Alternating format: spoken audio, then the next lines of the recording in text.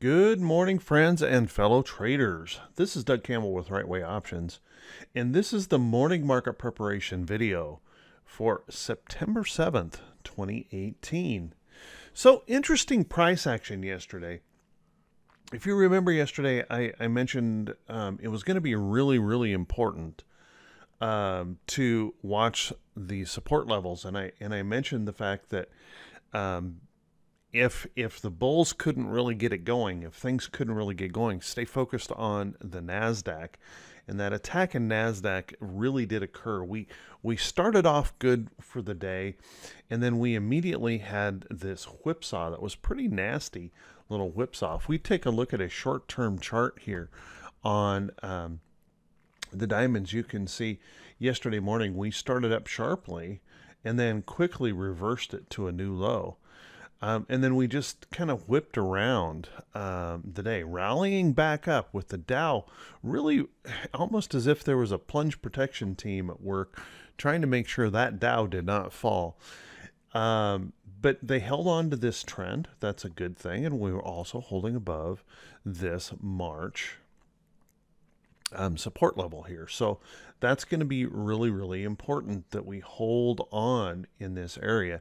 Now you can see the Dow um, still has a significant ways to go before we get to a, a record high or a breakout high. So holding in here, if we want to have a shot at moving higher, that's going to be extremely important.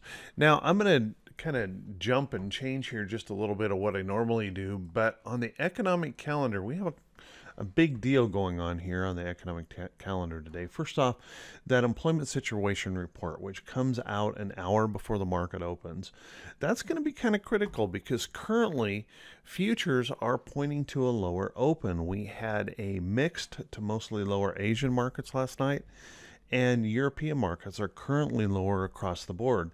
So our futures are pointing lower, but we are expecting a pretty darn strong employment situation report number today with um, our employment rate actually ticking even lower, uh, unemployment rate um, to a, a, a new low, which is kind of an interesting thing to see, to see that kind of strength in labor. Also, wage growth is expected in this report. Now, that means that the market could respond very, very bullishly to that number we could also see some concern that the market is kind of overheating here and uh, the potential threat of increased interest rates on the way as a result, and that could put a dour um, appearance on this um, report. So, kind of keep that in mind. Now, we also have the um, the real threat of um, $200 billion in tariffs being levied against um, China. The president has threatened that, and it is certainly open for that potential uh, to occur. So please keep in mind, we, we could go both ways here, and it's a little bit of a challenging market right now. So, what I recommended in the morning note, which by the way, if you've never had a chance to read my morning note, um, please um, check the description of the video. It's always in the description of the video, a link back to the morning note. Now, um, we what I mentioned is that we're going to have to be uh, focused and flexible, and that means we want to set aside our bias today. I think because we're we're kind of setting at some critical price levels. Here we are at the diamonds. The diamonds being the strongest right now, holding up above this key support level here in the in the Dow. If we take a look at the SPY, however,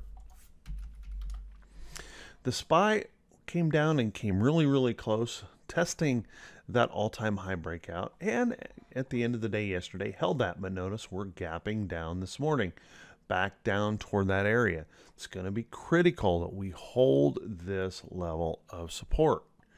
Let's take a look at the Qs. Now the Qs gave up that support yesterday, that breakout high, and had some significant selling going on. And again, you can see um, right now the futures are pointing to um, that with a lower open. So we need that employment situation report to really spark something here in the bulls to hold on to these support levels. So we're really at that at that decision point in the market where we could go one way or the other. And that's why I say I think we need to be very focused and very flexible today and be willing to set aside our bias and trade what we see in the charts because this could go either way. Also keep in mind when we're around key support levels and key resistance levels.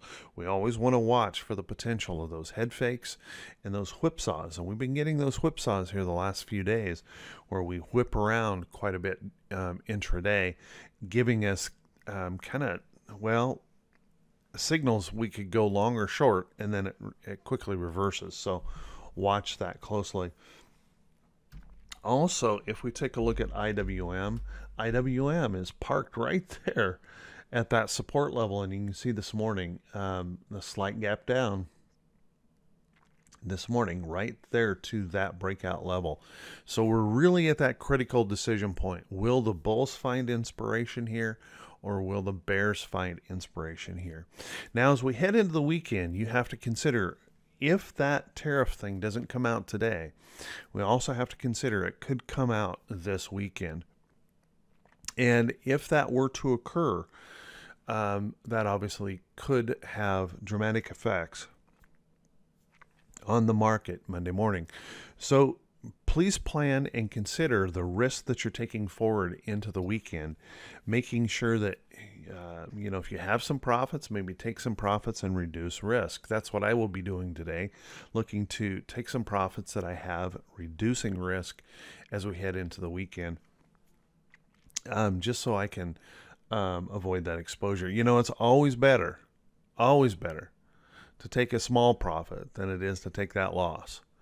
So maybe a trade didn't work out and give you as much money as you was hoping that it would, but it's always better to take a profit rather than a loss, and kind of consider that as you we move into this weekend with the threat of those tariffs.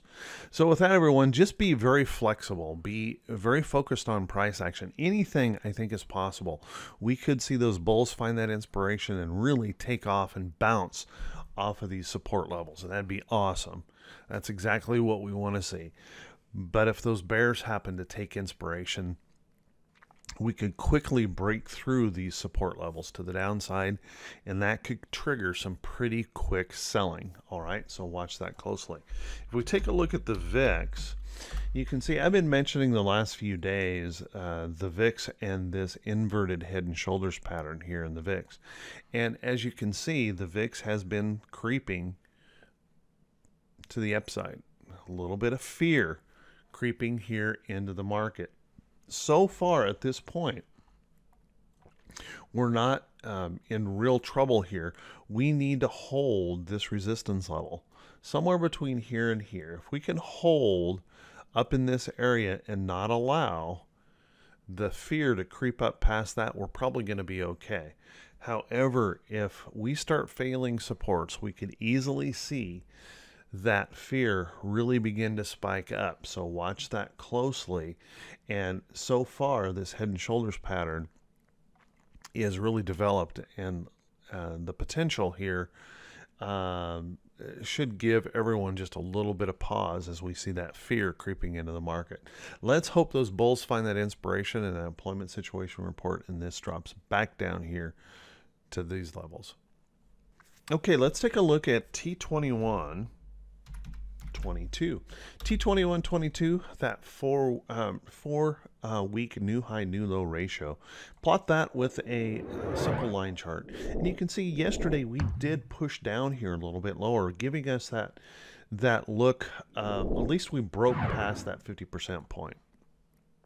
Okay, so we're at a position where we have plenty of room for upside move. We still have considerable room for downside move. So watch watch that carefully. We don't have a real good indicator here as to which way we're going to go. Just that uh, we have plenty of potential on both sides. So once again, kind of be prepared and flexible for about anything to occur. Let's take, um, we already took a look at that economic calendar. Um, but on that economic calendar, besides that employment situation number, just note that we have several Fed speakers today um, quarterly survey, Baker Hughes rig count, and Treasury strips. Um, on the earnings calendar today, we don't have much going on. 13 companies reporting earnings, and really none of those companies would be particularly notable unless you happen to own one of them. So make sure you're checking those earnings reports on a regular basis and watching uh, and, and, preparing, planning your day around um, those stocks that you may hold or planning to buy that are uh, coming up for a report. So, with that, everyone, hey, I want to wish you all a fantastic day. And more than that, I want to wish you an awesome, awesome weekend. And if this is the first time you've seen these videos, please do me a favor. Click that subscribe button on YouTube, follow me button on Facebook, click those thumbs up buttons, and drop a comment. I truly, truly appreciate that. You guys are so have been so kind, and I truly appreciate that. And um, always feel free to share this video with any friends and family. Everyone, have an awesome day. I wish you great profits. Have a great weekend. We'll see you all right back here bright and early Monday morning. Take care, everyone.